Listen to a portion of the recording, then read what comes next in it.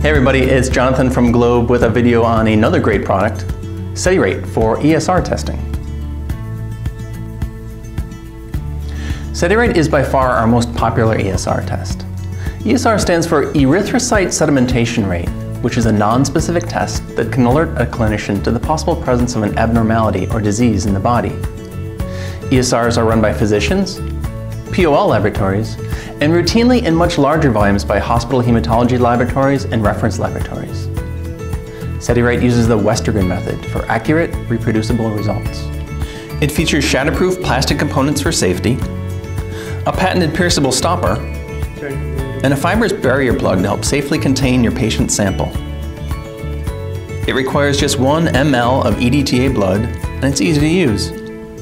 Just fill blood up to the raised line on SediRate's pre-filled trisodium citrate tube, insert the blue plunger into the pierceable stopper, and set aside for one hour.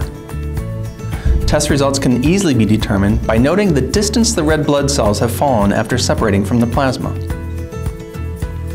For labs that have never used SediRate before, we recommend our SediRate Starter Kit, which has everything you need to begin testing, including 100 SediRate pipettes and vials.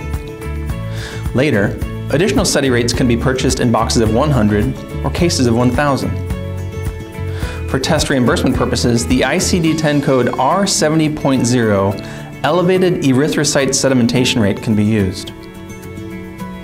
If you have any questions or if you'd like samples of SediRate, feel free to email or give us a call.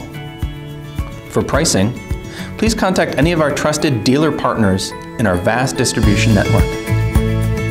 Thanks for watching.